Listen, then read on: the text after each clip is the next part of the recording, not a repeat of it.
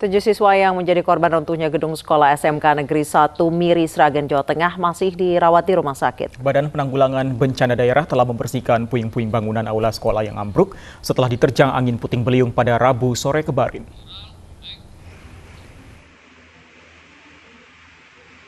Tujuh siswa SMK Negeri 1 Miri Sragen, Jawa Tengah yang menjadi korban runtuhnya gedung sekolah akibat diterjang angin puting beliung masih dirawat dan tiga di antaranya telah menjalani operasi.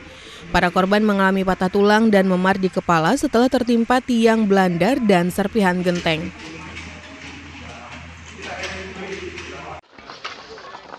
Petugas gabungan dari BPBD, aparat TNI Polri, serta relawan membersihkan puing bangunan serta genteng aula yang rubuh diterjang angin. Kondisi aula yang berbentuk joglo dan tanpa dinding membuat angin menghempas atap dan merubuhkannya dengan cepat.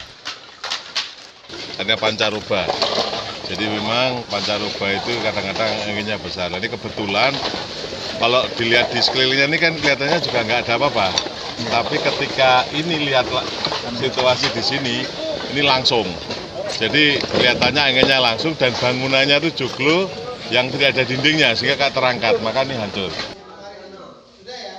Sementara itu sehari setelah kejadian proses belajar mengajar tetap berlangsung normal, ruangan kelas yang tidak terdampak tetap bisa digunakan. Dari Seragen, Jawa Tengah, Joko Piroso, iNews melaporkan.